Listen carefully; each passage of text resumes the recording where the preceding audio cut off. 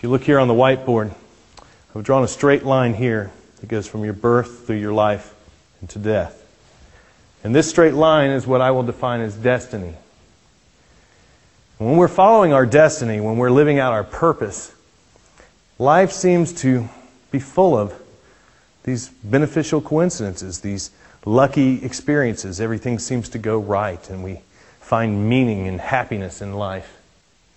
If you depart from that, if you start to make choices that are out of alignment with your purpose, which is what I have here as a sine wave, this is free will.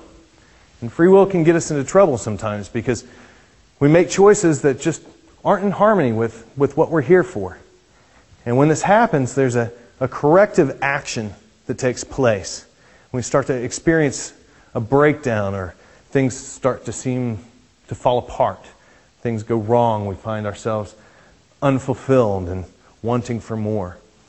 And I, I believe that this corrective action is the universal intelligence, the higher intelligence, telling us that we need to get ourselves back onto this path, that we need to walk that straight and narrow, the razor's edge, that we need to start getting back to the basics of our purpose, our meaning in life.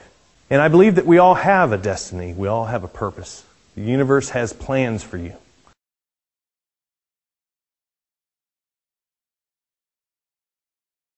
You know, what is fulfillment in life?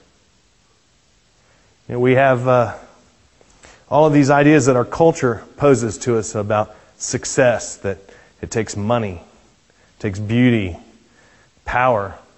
And all these things make a, a successful life.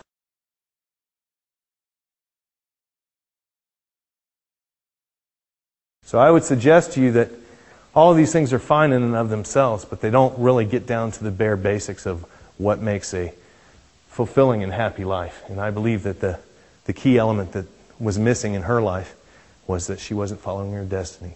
She hadn't found her purpose.